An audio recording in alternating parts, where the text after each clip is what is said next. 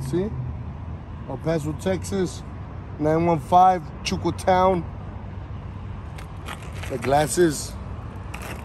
My man's right here. I'm gonna do an interview. Whatever he wants to ask, I'll be raw and whatever I answer.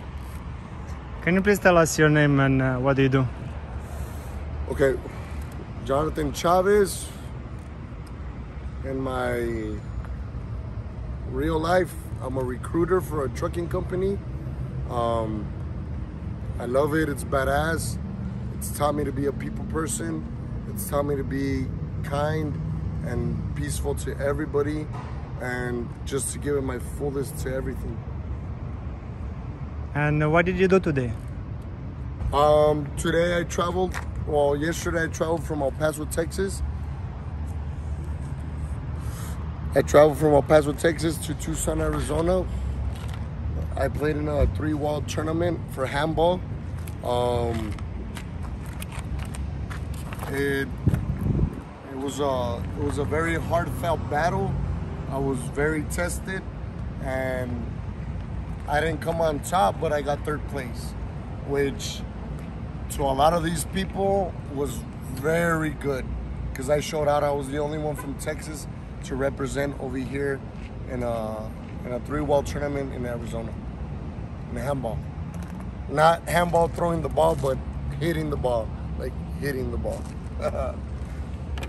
Can I ask you a personal question? Go ahead. How many balls do you have? I have two big balls, and they're fucking, they're fucking big, Mexican big ass balls. Because if you don't, if you don't win in a tournament with 30 participants, then you're not nothing. And whether the best of the best were here or whoever was here, I don't care. I came out today, and I did what I had to do. How long you playing the game?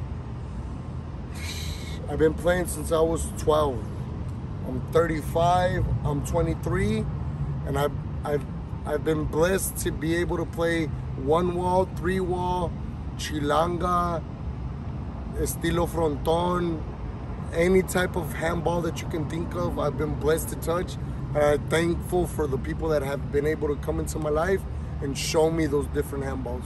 So, I mean, those 23 years is nothing, but I feel blessed to be able to have them. Can you please tell us about uh, the money in the game? Like what do you like, Okay, money in the game. It's it's it's good, but in this aspect, it's more about pride. It's more about me saying that I did this, that I beat everybody else, and I got third place, and nobody could touch third place or better because I was there. So yeah, the money's good, but that's why I have a professional life. That's why I have a life that takes care of my lifestyle. That's why all that is is done. My family, my kids, everything, and this is just a hobby. There's, I mean, the money's. I mean, I'm thankful for it, but it's not what I'm living off of. So this is more of a hobby, and I love it. So you're gonna see the passion. You're gonna see the the blood, the the swollen knees, the ibuprofens that you guys don't see that I took in, the the smoke with my compa over here. The like you don't see none of that, but you're gonna see the heart for sure, for sure. Is there anything else would you like us to express and tell us? Any advices? All right. Just be kind to everybody. Be the best person that you can be, and just spread love to everybody. Like, there's no reason to hate on nothing.